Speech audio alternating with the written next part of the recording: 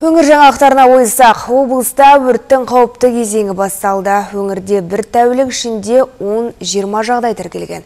Осы уақытта облыстық төтенше жағдайлар департаментінің қызметкерлері мен Өскемен қаласының төтенше жағдайлар басқармасы мамандары тілсіз жаудың алдын алу бойынша кешенді жұмыс жүргізді. Рейд барысында саяжай тұрғындарына қауіпсіздік ережелер түсіндірілді.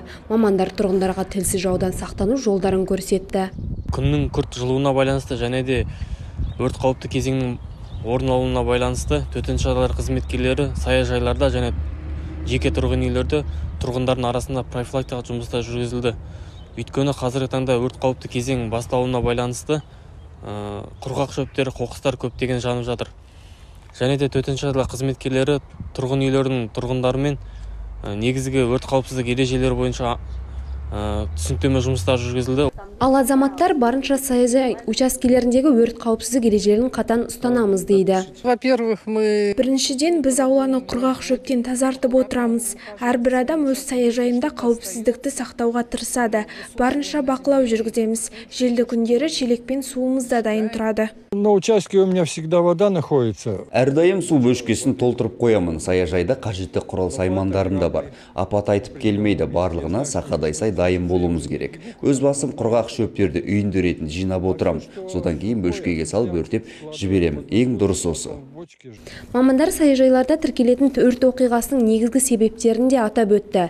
Мәселен, тұрғындар отынды тұтатып, қараусыз қалдырудың салдарынан өрт бүкіл аумаққа таралды. Мұндайда жауапсыз жандарға жаза да дайын. оның ішінде қазақстан республикасының ә, әкімшілік кодексінің ә, жаңағы 336 410 баптары бойынша түсініктеме жұмыстар жүргізілді. Бұл жерде көрсетілгендей құрғақ шөптерді және қоқыстарды ғимараттардан 50 метр арақашықтықта жағу керек. Және де бұл ә, ережелерді сақтамағанда қазақстан республикасының әкімшілік кодексіне байланысты жаңағы 410 бабына сәйкес ескерту немесе айыппұл төленеді.